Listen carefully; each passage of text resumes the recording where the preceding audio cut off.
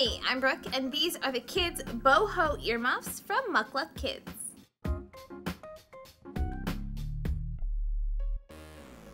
These earmuffs are a ton of fun. They've got really soft little muffs that go over your ears, and then they've got a knitted detail that comes up around the band. This is also adjustable, so you can actually just shrink it together to make it smaller and then pull it further apart to make it a little bit larger if you need to stretch that out for your head.